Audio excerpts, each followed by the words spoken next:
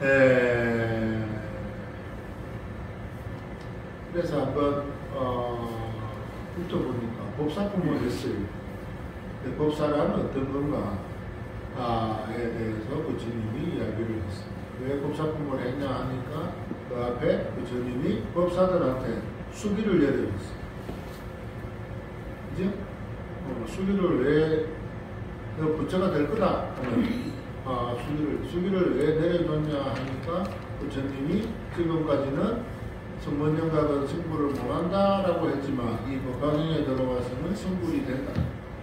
어, 그 이야기를 듣고 사리골이 기뻐하고 공론 존자가 아, 가습이 기뻐하고 공룡이 기뻐하고 어, 아단 나올라가 기뻐하고 에 감흥을 해서 너네들은 너희의 부처가 되고 어, 부처가 되기 위해서는 뭘 해야 되냐 하니까 이 법화경을 해야 돼.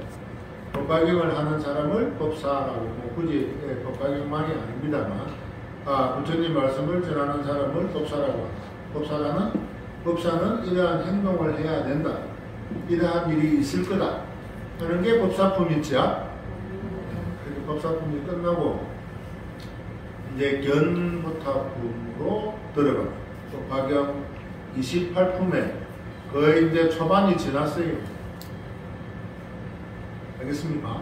초반이 지나서 이제 중반에 들어섰어요. 에, 말 그대로 어, 견보타품에 들어왔어요. 견보타품에 들어와서 뭐가 틀려지냐 하면 법화경에서는 에, 설법을 두 군데에서 한다 그랬습니다. 어디서 한다 그랬죠?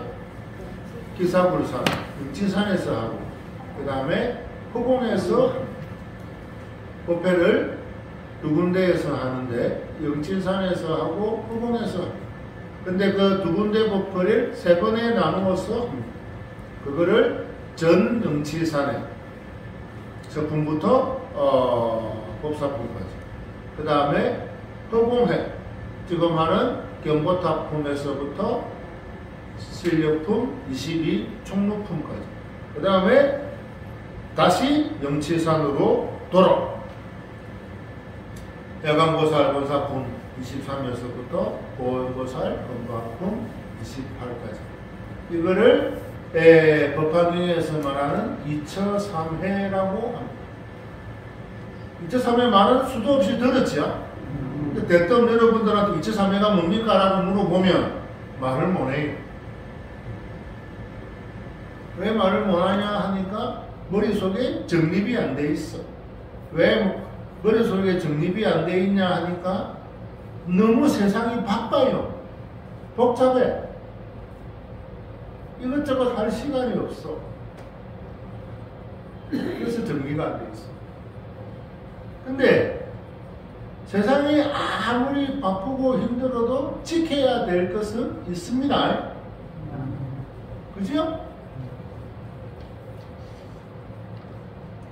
자식은 부모를 존경을 해야 돼. 당연한 거죠. 자식은 부모를 존경해야 돼. 당연해. 반대로 부모는 자식을 보살펴 줘야 돼. 당연한 거죠. 내 말이 틀렸어요? 아, 지금 21세기도 내 말이 틀리는구나. 그 대답을 안 하는 거. 당연한 거야. 백성은 임금을 존경을 하고 임금말을 따라야 되는 거예요. 반대로 임금은 백성을 어려워하고 두려워하고 보살펴야 되는. 이 당연한 것이 무너져가는 현실입니다. 왜? 법화경을 한다라고 하면서 법화경을 몰라. 그죠? 나는 법화경을 하는데 법화경이 몰라. 그러면서 법화경을 한다라고 이야기를 하고 부처님한테 공덕을 주십시오라고 합니다. 왜 부처님이 내한테 공덕을 줘야 되는지를 몰라요. 자식이 부모한테 예? 보살펴줘, 내 용돈 줘, 뭐 해줘 라고 하지요. 그게 왜 부모가 자식한테 그렇게 해줘야 되는지를 몰라. 자식이니까 해줘야 되는 거야. 아까 뭐라고 했어요? 자식은 부모를 존경하고 존중해야 돼. 부모 말을 들어야 돼. 옆집 아저씨 말은 안 들어도, 예? 부모 말은 들어야 돼. 근데 세상이 변해가니까 부모 말을 듣는 것보다 옆집 아저씨 말을 더 잘 듣네. 안 그래요? 택배 아저씨는 반기는데 아빠 옮기는 안 반겨.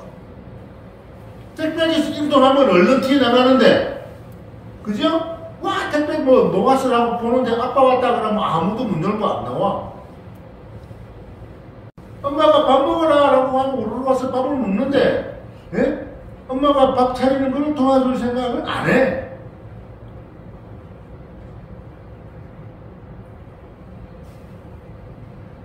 왜? 엄마니까 그렇게 해야지. 아빠니까 그렇게 해야지. 반대로 자식이니까 부모한테 해야 될 게 있겠지요? 나는 법화경의 행자니까 부처님한테 당연히 공덕을 받아야 돼. 그죠? 반대로 부처님 입장에서는 너는 법화경의 행자니까 이 정도는 알아야 돼. 그래 해야 법화경의 행자라고. 예? 법을 모르는 검사가 있고 판사가 있습니까? 네? 총을 다룰 줄 모르는 군인이 있습니까? 백가에 따라 틀리지만 네? 총을 한 번도 잡아보지 않은 군인이 있어요? 일반 시민을 지키지 않는 경찰이 있습니까? 없지요. 근데 법화경을 모르는 법화경의 행자들은 있어. 이게 말이 된다고 생각을 해요? 그 법화경의 가장 기준, 중요한 기초적인 2003회야.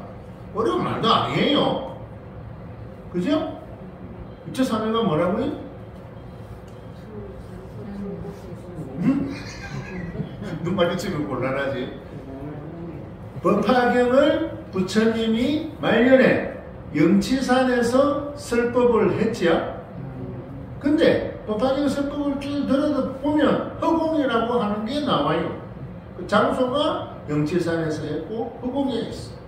그리고 그 모임이 영치산에서 하고 허공에서 하고 다시 영치산으로 오는 거예요. 그거를 전 영치산회, 허공회, 후 영치산회라고 하는 거예요.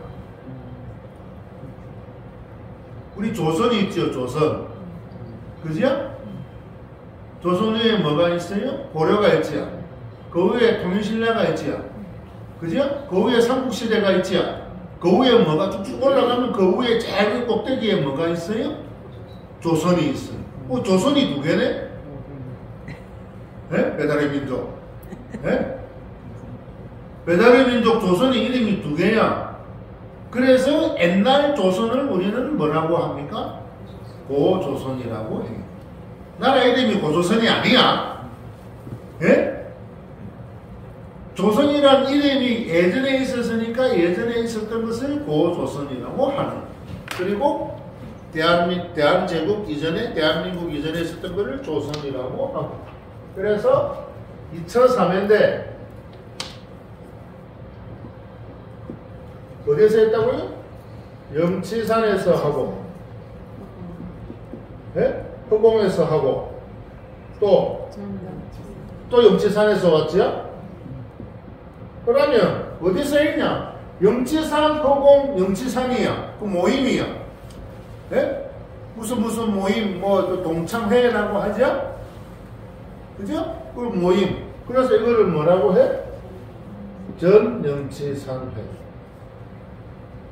이거는 허공회. 이거는 후영치산회. 그래서 2차 상해가 되는 거예요. 엄청 쉬운 거잖아요. 근데 한 달에 물어보면 또 몰라.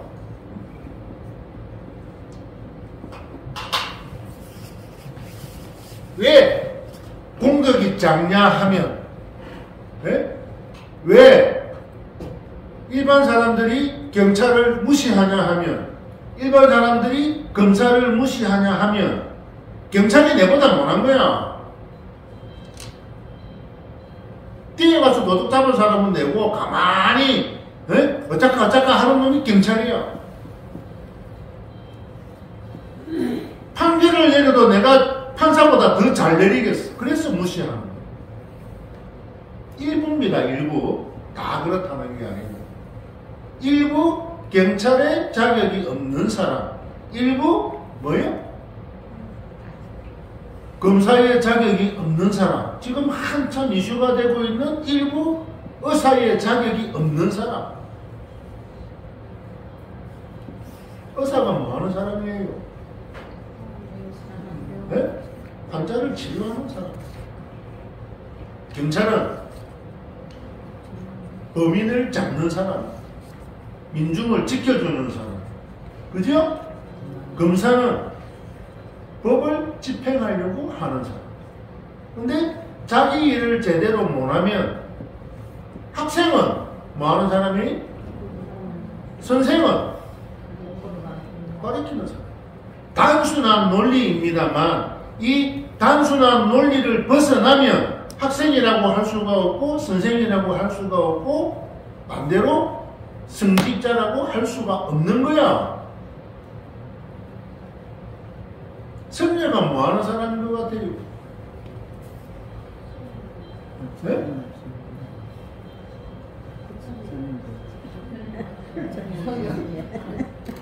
성녀가 뭐 하는 사람이다. 여덟 글자로 말해본 사람 사람 들어봐요.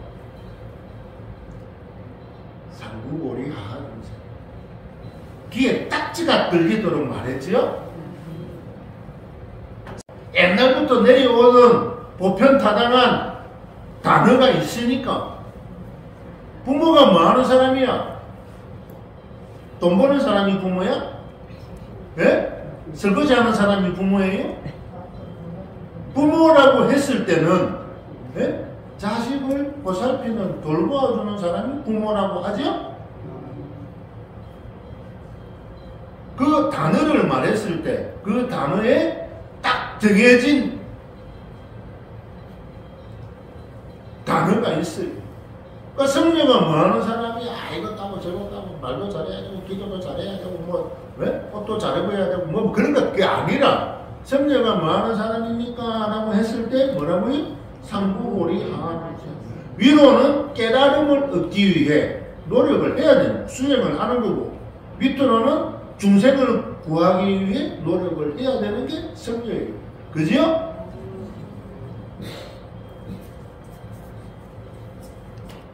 그러면 신자는 뭐 하는 사람이에요?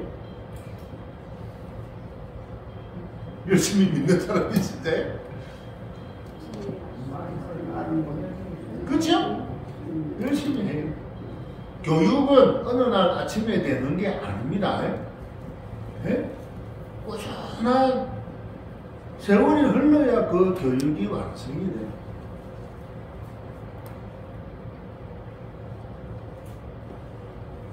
옛날에 저 뭐야 우리 중국 사람들 옆에 지나가면 엄청 시끄럽지요.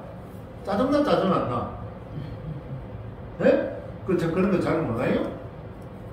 이게 뭐 미아적인 발언이니까. 네? 짜증나. 왜? 매너가 없어. 사회적 규범을 잘 안 지켜요. 반대로 한국 사람들이 외국에 나가면 우리가 중국인 보듯이 외국인들이 우리를 중국 사람 보듯이 매너가 없어.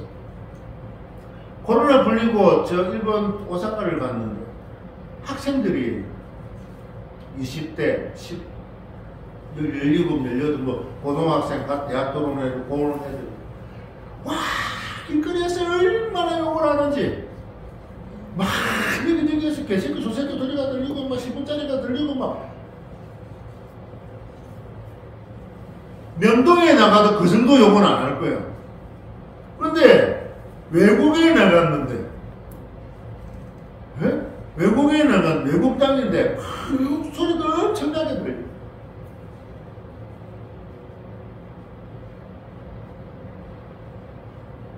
그러면 그 사람들이 우리를 볼 때 뭐라고 생각하겠습니까? 아, 참. 하고 하겠지야. 우리가 중국 사람들 보듯이. 근데 중국 사람들도 엄청나게 예의를 따지고 엄청나게 매너가 있는 사람이 있어요. 왜 그런 것 같아요? 그 사람들은. 그렇지, 교육을 받았어.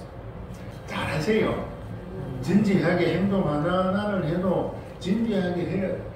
무식하고 못 배우고 옷이 더럽고 이런 게 아니야. 예? 그 행동 행동 하나에 얼마나 품위 있게 하는가. 예? 부처님 앞에서만큼은 아시겠죠?